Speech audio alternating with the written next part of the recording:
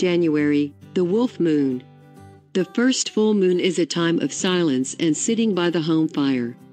As the wild winter howls, appreciate the warmth of home and family.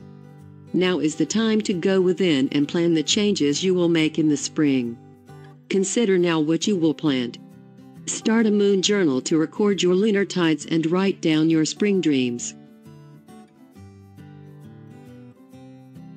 February, the storm moon. At this moon begin your spring cleaning. Think about what needs to be released and let go of in your life and in your home. Burn white candles and purifying incense, sweep out the cobwebs and prepare for the new growth of spring. March, the chaste moon. This is the moon of the maiden and fairy folk. Gather the seeds of inspiration and imagine what they can grow into. Build an altar to the moon and bless your garden in the moonlight. Prepare the earth for planting and yourself for change. April, the seed moon. At the seed moon, plant your seeds of magic whether it be in a garden, in a pot by the window, or simply in your heart. Fill your home with light and flowers, create colorful eggs to decorate it and bring fertility and joy. On the full moon, plant herbs. Sing in the rain. May, the hare moon. Now is the time to celebrate life and love. Renew and affirm your sensuality, kindle the fire of romance. Dance and make love by the light of a bonfire, the glow of red candles, or just the full moon's radiance. Free your wild nature. June, the dyad moon. See how things are growing. The old has died away to make room for the new. Create an altar of roses and honor the beauty of nature.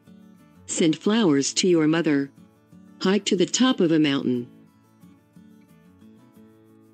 July, the mead moon. Bask in the warmth of summer and take time for yourself. Relax. Perhaps a moonlit walk by the sea to gather sacred seashells. Make an ocean amulet necklace for one you love. August, the corn moon. This is a time to harvest the gifts you have nurtured and give to those who are in need.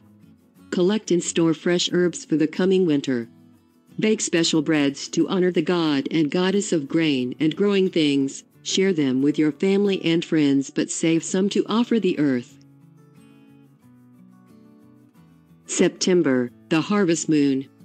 Drink a toast to Dionysus, the god of wine and ecstasy, the son of the moon.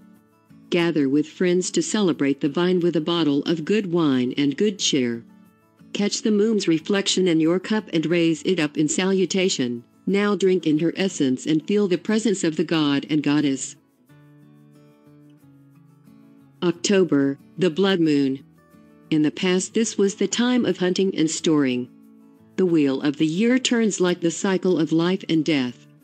At this moon, the veil is thin. Make an altar to honor your ancestors and ask them to guide and protect you. Carve pumpkins and place candles within to light their way.